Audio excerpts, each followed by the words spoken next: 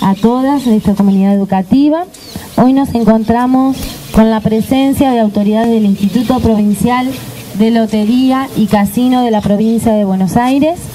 Ellos nos donarán en el día de hoy una tonelada de alimentos y 115 litros de pintura para nuestra escuela. Les cuento que esta donación nace cuando la empresa Telequino le brinda al ganador del primer premio la posibilidad de elegir una institución o comedor infantil que recibirá una tonelada de alimentos y salimos favorecidos. Y el presidente de la Lotería de la provincia, Melitón Eugenio López, decidió sumar a esta entrega pintura interior y exterior para acondicionar nuestra escuela. Le damos la bienvenida otra vez diciéndole gracias. Gracias a todas las personas que se encuentran hoy presentes y gracias también a toda nuestra comunidad educativa que siempre nos brinda apoyo. Gracias, pero un gracias muy, muy especial, porque este día es especial. Gracias por acordarse de esta comunidad. Gracias por estas acciones que llenan el alma, llenan, eh, la, la engrandecen. Y no solamente las nuestras, sino también las de ustedes. Queremos pedirles que no se olviden de nosotros, de esta escuela que se encuentra en la Villa San José, la escuela número 31. Tenemos muchas necesidades que vamos sobrellevando día a día con el apoyo de los padres.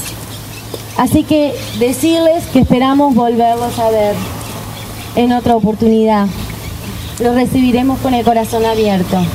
Y para terminar, quiero cerrar estas sencillas palabras que escribí hoy en un ratito, eh, recordando una frase muy bonita de la Madre Teresa de Calcuta, que dice, bienaventurados los que dan sin recordar y los que reciben sin olvidar.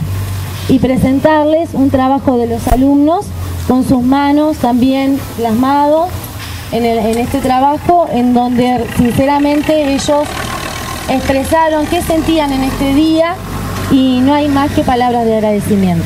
Realmente qué lindas palabras la de la directora y, y es una cosa bellísima porque lugares donde uno va eh, con estas donaciones de alimentos y encuentra gente que son los docentes, los que se ocupan de los comedores, que realmente hacen un trabajo arduo en pos de los demás, eh, sin medir esfuerzo, quitando horas propias eh, y eh, felicitaciones porque son lo que hacen patria, ¿no? En definitiva, muchas gracias a las autoridades que están honrando con su presencia aquí, tanto Jerónimo Vigo como el doctor Carlos Sánchez, porque hacen un trabajo muy arduo en pos de mejorar y mejorar al instituto y han sacado horas del trabajo para estar acá acompañando y presidiendo esta entrega.